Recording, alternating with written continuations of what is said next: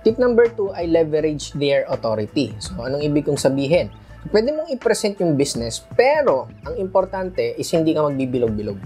Kasi nga, iniiwas natin yung networking na part. Hindi natin tinatago sa kanila na networking. Hindi yun ang point ko. Iniiwas natin yung networking na part. Kasi usually, pag networking, ang iniisip ng tao is recruit-recruit. Yun yung tinatanggal natin.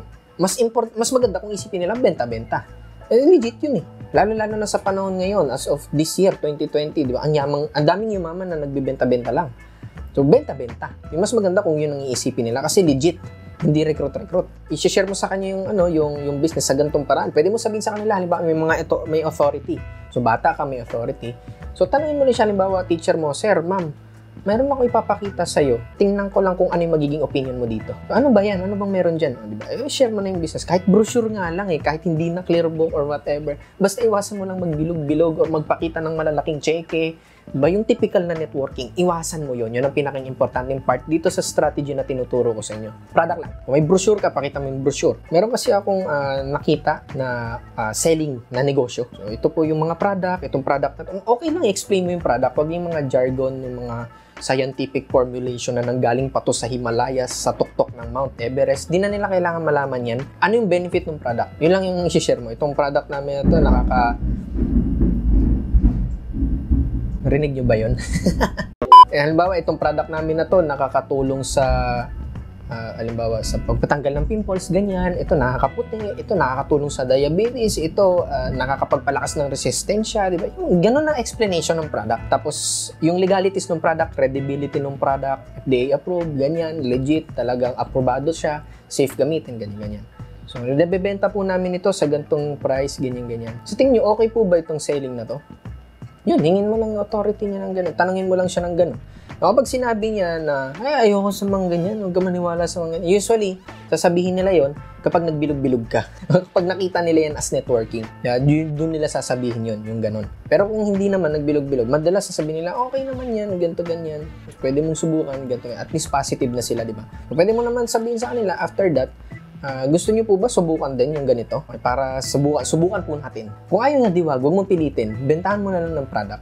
Kaya pwede mo nang gawin yung nauna, yung unang tip na binigay ko sa iyo. Pero ito, parang recruit to recruit na rin ito. Itong tinuturo ko sa inyo. Itong ikalawa na tip. Pero hindi siya ganun kataas yung resistance. Kasi hindi ka naman nagbibilog-bilog eh. So I hope naiintindihan mo yung part na yon. Kasi very powerful tong tinuturo ko sa inyo. Tinuro ko rin to sa Ethical Recruiter course doon kompleto. Okay, kompleto na yung about sa pagre-recruit from start to finish. Pag may downline ka, anong gagawin sa downline from simula, saan ka kukuha ng prospect, na kompleto na yun. So, pwede nyo i-check mamaya. Ilalagay ko na lang yung link sa description ng video na ito. And tip number 3, pinakang importante para sa lalo-lalo na para sa inyong mga bata, sa inyong mga estudyante, eh, wag na wag mo iba-broadcast yung negosyo mo sa Facebook or sa kung saan man. I am proud Power Payaman International. Huwag mong gawin yun. Hindi, kasi pag ginawa mo yan, lalayuan ka ng mga tao. Sa inyong mga gumawa ng ganon, di mo napansin, nilayuan ka ng mga tao. And uh, si Facebook din, ayaw na rin ni Facebook sa ganon. So yung product, actually, okay-okay pa eh, kahit papano.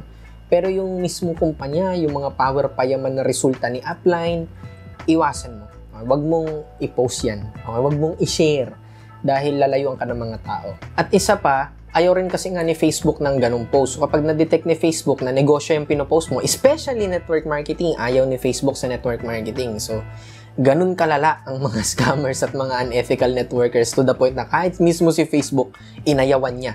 Okay, kapag na-detect ni Facebook na ganun, na MLM yan, network marketing yan, hindi yan makikita ng mga tao. Or worst, i-delete nila yung post mo or pwede ka nilang i-restrict or i-ban. Huwag nating hintayin na mangyari yan. So kaya kung mapapansin mo, kapag nagpo-post ka ng business or whatever, di ba, ang konti no nagla-like. Merong isang nag-like, ikaw pa.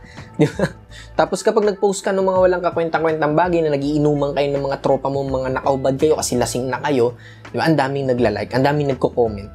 Napansin mo yon So, ayaw kasi ni Facebook ng ganun. Kaya iwasan mo na i-broadcast. Kasi nga, Nabanggit ko na rin kanina na pangit pa rin. As of 2020, September, pangit pa rin ang tingin ng mga tao sa network marketing.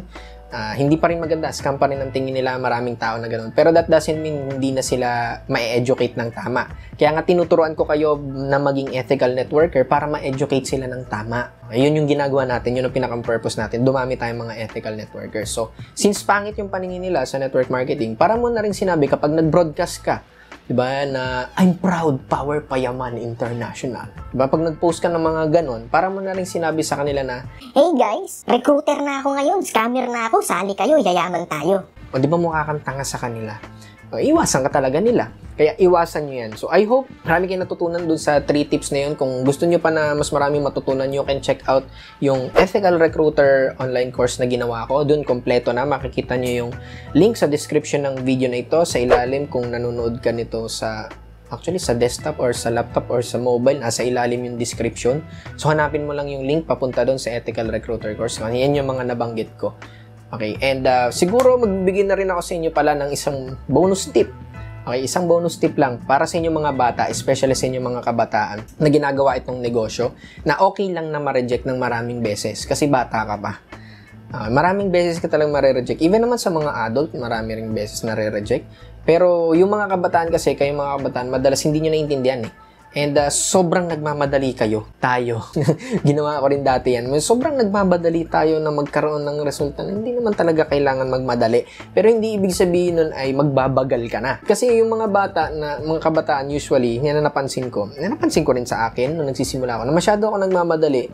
Hindi naman kailangan magmadali. Ang bata-bata ko pa ang wag lang naman mangyayari dito sa sinasabi ko sa inyo ay magiging kampante ka na kasi sasabihin mo, sabi kasi ni Coach Carl, bata naman ako eh. So hindi mo na ako mag, magbebenta ngayon. Hindi mo na ako mag-invite ngayon. Wala mo ng production ngayon. Katamaran yon. So hindi yun ang tinutukoy ko. Ang focus mo lang dapat is yung production mo at yung activities na ginagawa mo every single day kasi kakampi mo yung oras eh. Para sa inyong mga bata, kakampi mo yung oras. So kung gusto mo na maging mas successful ng mas maaga, yun lang dapat ang focus mo. Hindi mo kailangan magmadali, hindi ka magbabagal. Gawin mo kung ano yung dapat mong gawin. Okay, so I hope marami kayo natutunan dito sa training video na ito. And question of the day, comment nyo dyan sa ilalim. Ano yung pinakang tumatak sa isip mo dito sa training na ito in 1 to 2 sentences. okay, in 1 to 2 sentences, ano yung pinakang tumatak sa isip mo? Comment mo dyan sa ilalim. And make sure na i-like mo tong video na ito kung marami kang natutunan and i-share mo to sa mga teammates mo, sa mga members mo na kapwa mo bata or bat mas bata sa'yo or para sa kanila, kung para sa kanila tong video na ito, kung may mga downline ka, halimbawa hindi ka na bata, katulad ko, na may mga downline ka na mas bata sa'yo o mga kabataan, pwede mo tong i-share sa kanila. And I'm sure marami sila matututunan dito. So once again, this is Carl Sarano. Live, love, and learn. You are born for greatness. So see you next time.